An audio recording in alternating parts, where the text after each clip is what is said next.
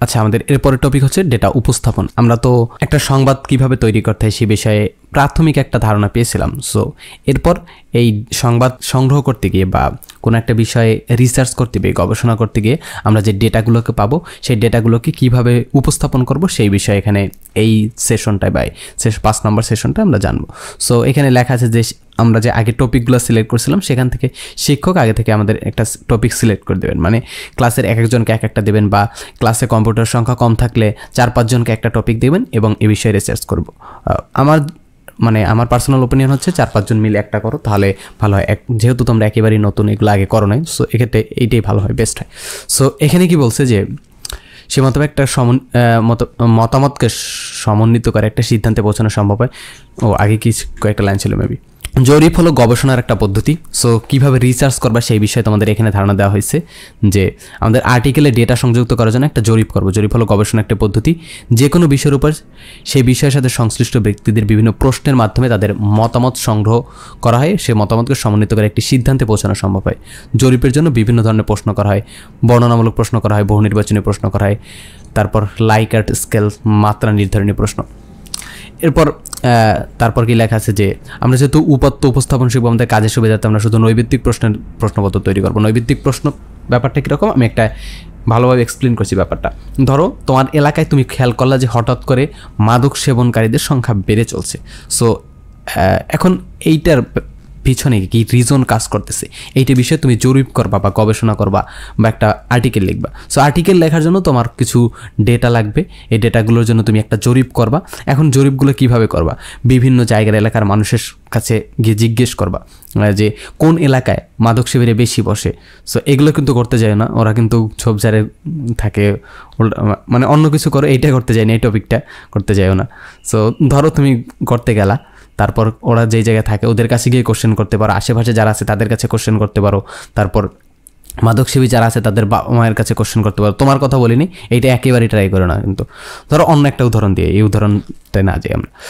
ধরো তোমাদের এলাকায় ইন্টারনেট এডিকশন ইন্টারনেট এডিকশন সারা পৃথিবীতেই তো বাড়ছে, সব জায়গায় বাড়ছে। সো তোমাদের এলাকায় খুব প্রচণ্ড পরিমাণ বেড়ে যাচ্ছে পলাবান পড়াশোনা করতেছেন একদমই, সারাক্ষণ ফোন নিয়ে ব্যস্ত আছে।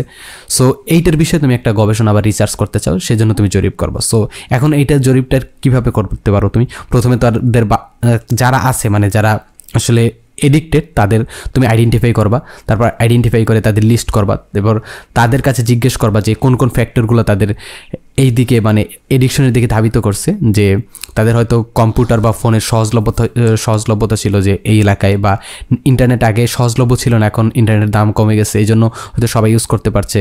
তারপর এরকম অনেক ফ্যাক্টর থাকে, তোমরা এগুলো হচ্ছে একটার পর একটা অ্যান্স উত্তর মানে প্রশ্ন করে, উত্তরটা নিয়ে তারপর হচ্ছে এটা নিয়ে রিসার্চ করবে। এটা কিন্তু একেবারে বড় স্কেলে রিসার্চও কিন্তু এইভাবেই করে। একটা টপিক নেয় এবং এই টপিকটার উপর কোশ্চেন সাজায়, তারপর কোশ্চেন সাজায়, তারপর হিউজ অ্যামাউন্টের মানুষের কাছ থেকে ম্যাথ পেপারের কাছ থেকে ওরা অ্যান্সারটা নেয়। সো ম্যাথ পেপারের কাছ থেকে অ্যান্সারটা নেওয়ার একটা সুবিধা হচ্ছে, তোমার কাছ অনেক বেশি ডেটা থাকবে এবং তুমি একটা ভালো গবেষণা ফলাফল পাবা। এক্ষেত্রে তুমি খুব একটা ভালো ফলাফল পাবা না। কারণ কি? কারণ হচ্ছে তুমি দশ বারো জনের ডেটা নিয়ে কাজ করছ।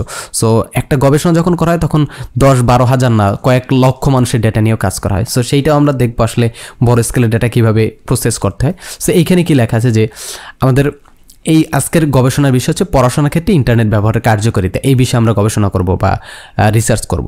সো প্রথম জরিপের প্রশ্ন, উত্তরদাতার নাম। উত্তরদাতা মানে যেই, যার কাছে আমরা কোশ্চেনগুলো করব, তার নাম আমরা লিখব। তারপর তার বাসায় যে কম্পিউটার বা স্মার্টফোন আছে কি না এখন দেখো, এখানে হচ্ছে এমসিকিউ টাইপের কোশ্চেন দুই, একটা মানে অপশন হচ্ছে দুইটা, আছে অথবা নাই। তারপর জরিপের প্রশ্ন তিনি ইন্টারনেটের পড়ালেখায় সাহায্য করে। একমত একমত না। হ্যাঁ এবং না। দুইটা দুইটা অ্যান্সার দুইটা হতে পারে। তারপর জরিপের প্রশ্ন চার, আমি আমার সন্তানকে পড়ালেখার জন্য ইন্টারনেট ব্যবহার উৎসাহ দিই। এর সাথে আপনি কি একমত একমতটা দেখো, প্রত্যেক ক্ষেত্রে আনসার হচ্ছে দুইটা। আছে নেই।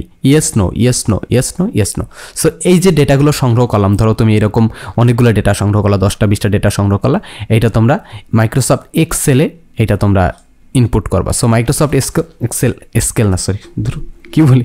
এক্সেল এই এক্সেলটা তোমরা তোমাদের কম্পিউটারে বা মানে স্কুলের কম্পিউটার ইনস্টল করা, থাকার কথা আগে থেকে, যদি না করা থাকে স্যাররা করে দেবে, পারে না। এখন তুমি মানে এইটাই ইনস্টল করতে যাই আর টাইম কয়ও না।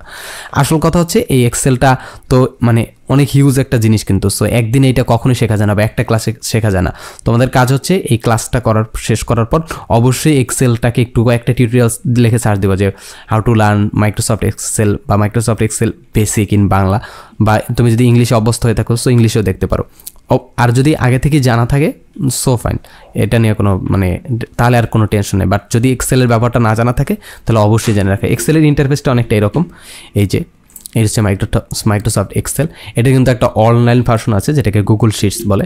সো গুগল শিটস কোথায় গেলো? এই যে, এরকম অনেকটা। বাট এইখানেও অনেকগুলো ফিচার নাই। সো আমরা মাইক্রোসফট এক্সেল দিয়ে কাজ করব। এই যে মাইক্রোসফট এক্সেল দিয়ে কাজ করব। আগে ওইখানে কী লেখা আছে, সেটা দেখি তারপরে এখানে আসব আমরা। সো এখানে আমাদের বলে দিচ্ছে যে কমপক্ষে দশজন ব্যক্তির ডেটা স্পেশিটি আমরা এন্ট্রি নেব। তারপর এখানে কি বলছে? দশজন ব্যক্তির কাছ থেকে এই চারটি প্রশ্নের উত্তর নিয়ে স্প্রেডশিট যুক্ত করে বা এন্ট্রি করার পর এই যে স্প্রেডশিটটায় এইখানে এই যে মাইক্রোসফট এক্সেলের এইগুলোকে স্প্রেডশিট বলে, সেই স্প্রেডশিটে আমরা এন্ট্রি করব এবং দশজন ব্যক্তির উত্তর আমরা গুনে গুনে অ্যানালাইসিস করব অ্যানালাইসিস করার চেষ্টা করব। এবং কিন্তু আমাকে যদি এক হাজার ব্যক্তির ডাটা হয়, তাহলে আমার পক্ষে হিসাব করা অসম্ভব হয়ে পড়বে। তাই স্প্রেডশিট ব্যবহার করে এই কাজটি শিখে নিলে বড় বড় কাজ বা গবেষণার কাজ করে ফেলতে পারব। সো এখানে বলছে যে দশজন, বিশ জনের ডেটা যদি না হয়, সেক্ষেত্রে তুমি হাত দিয়ে করে ফেলতে পারবে। বাট এক হাজার বা এক লাখ, এক কোটি মানুষের ডেটা যদি দেয়, তখন কিন্তু তুমি এটা করতে পারবে না। তখন তোমার অবশ্যই এইটার হেল্প নিতে হবে এক্সেলের হেল্প নিতে হবে। সো সেটাই বলছে এখানে। সো এখন আমরা কি করব? আমরা হচ্ছে এইটার ডেটাটা কীভাবে ইনপুট করতে হয় সেটা একটু দেখি, তারপর অন্যগুলো দেখব। সো ওকে আমরা মাইক্রোসফট এক্সেলে চলে যাই। এই যে সো তোমরা প্রথমে যেটা পাবা, যে ইন্টারফেসটা পাবা, সেটা কিন্তু এইরকম না, এরকম একটা পাবা। সো এই যে রোগুলা এই যে রোগুলা এবং কলামগুলা এই যে উপরে নিচে যে কলামগুলা এটা এ কলাম এটা বি কলাম এটা সি কলাম এটা ডি কলাম আবার এটা হচ্ছে এক নম্বরও, দুই নম্বরও, তিন নম্বরও। এই রোগ বা কলামগুলো এরকম বড় থাকে না সো বড় করে নিতে হয়। সো এই সাইজটা তোমরা কীভাবে বড় করবা? জাস্ট সিম্পল রো বা কলামগুলো সিলেক্ট করবা, ধরো এই যে কন্ট্রোল চাপ দিয়ে কারসরটাকে এরকম টেনে নিয়ে গেলে এগুলো সিলেক্ট হয়ে যাবে, সবগুলো সিলেক্ট হয়ে যাবে। সো এখন যদি তুমি এখানে ফরম্যাটটি ক্লিক করো, এই যে রো হাইট যদি তুমি বৃদ্ধি করতে চাও, আবার কলামের ওয়েট যদি তুমি বৃদ্ধি করতে চাও, সেক্ষেত্রে এইটা মানে এখানে প্রেস করলি, এখানে মানটা চেঞ্জ করে দিলি, এখানে মান, এইটা চেঞ্জ হয়ে যাবে। অবস্থা, এই মানে কী বলে, ঘরের সাইজগুলো চেঞ্জ হয়ে যাবে। সো আট ছিল, আমরা হচ্ছে পনেরো করে দিলাম। করে দিলাম, এই যে, দেখো চেঞ্জ হয়ে গেল। আমরা এখানে কলামের সাইজগুলো চেঞ্জ করছি। সো কন্ট্রোল জেড চেপে আমরা পিছনে ব্যাকে চলে আসি। সো এই হচ্ছে আমাদের ডেটা আমাদের এক নম্বর কোশ্চেন ছিল নাম, মানুষের নামগুলা। সো এর ক্ষেত্রে নাম দিলাম এ বি সি ডি নাম। তুমি এখানে অরিজিনাল নাম দিয়ে নেবা। তারপর দ্বিতীয় কোশ্চেন কী ছিল? দ্বিতীয় কোশ্চেন ছিল দ্বিতীয় কোশ্চেন কী ছিল? দাঁড়াও। দ্বিতীয় কোশ্চেন ছিল, বাসায় কম্পিউটার বা স্মার্টফোন আছে কি না বাসায় কম্পিউটার বা স্মার্টফোন আছে কি না এই যে আছে আছে, নাই নাই, এরকম আমরা অ্যান্সার পাইলাম। এরপর তিন নম্বর কোশ্চেন ছিল কি? তিন নম্বর কোশ্চেন ছিল ইন্টারনেট পড়াশোনায় সাহায্য করে কি না সো এটার সাথে যে যে একমত, উনি একমত বলছে, তারপর যারা একমত না, তারা একমত নয়, এটা বলছে। এরপর সর্বশেষ কোশ্চেন আমি আমি আমার সন্তানকে সো এটা যেহেতু বড় মানুষের উপর করেছিল যে আমি আমার সন্তানকে ইন্টারনেট ব্যবহার উৎসাহ দেই কিনা। সো এইটা এখানে একমত একমত না, এরকম অনেকগুলো অ্যান্সার আছে। সো এখন এই জায়গায় তো আমরা ডেটাগুলো ই করলাম ইনপুট করলাম এইরকম। এখন এইটা থেকে আমরা আউটপুটটা কীভাবে বের করতে পারব বা একটা যদি হিসাব করতে বলে, এখন আমি ধরে ধরে হিসাব করলে তো খাতাই করতে পারি বাট এক্সেলে ব্যবহার করার সুবিধাটা কি? এক্সেলে কিন্তু অনেক সূত্র ব্যবহার করা যায়। সো ধরো, এখানে আমরা উত্তরদাতাদের মধ্যে থেকে ইন্টারনেট পড়াশোনায় সাহায্য করে কতজন, এইটা আমরা হিসাব করতে চাই। সো এইটা কীভাবে বের করব? এখানে টোটাল যে যতজন আছে, ধরো এখানে ষোলো জন মানুষ আছে, ষোলো জনের উপর আমরা জরিপ করছিলাম। বইতে লেখা আছে দশজন এখানে আমরা ষোলো জন করছি জাস্ট একটু অন্যরকম দেখানোর জন্য। সো এখানে ধরো আমরা এটা মুছে দিলাম। মুছে দিলাম, পুরোটা মুছে দিলাম। মুছে দিলাম। এখন এই যে ইন্টারনেট পড়াশোনায় সাহায্য করে কি না সো এইটা হচ্ছে এই যে এই কলামেরই সো এই কলামের ডেটাগুলোকে আমরা এখানে হিসাব করব। সো হিসাব করার জন্য আমরা সূত্র নিতে পারি। সো সূত্র নেওয়ার জন্য প্রথমে সমান সাইন দেব। তারপর তারপর কাউন্ট লিখব C O U N T count লিখব, তারপর আই এফ এস লিখব। তারপর একটা ব্র্যাকেট দিব। ব্র্যাকেট দেওয়ার পর এখন আমরা এই রেঞ্জটা সিলেক্ট করে দেব।